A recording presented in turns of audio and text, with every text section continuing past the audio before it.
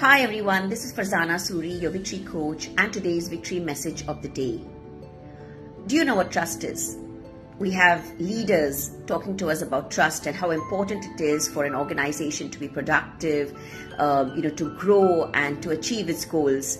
But I think the measurement of trust comes from the very idea that as children, when we were thrown up in the air, we laughed hysterically and hilariously, uh, not afraid. And the reason why we were not afraid was because we knew that when we came down, we would be held safely. That is trust.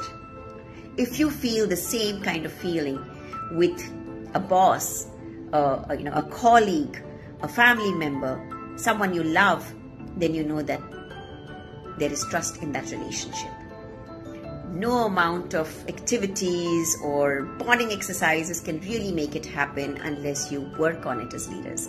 So that's all for me from here. I'm Farzana Suri, your victory coach. Be cool, be classy, be victorious.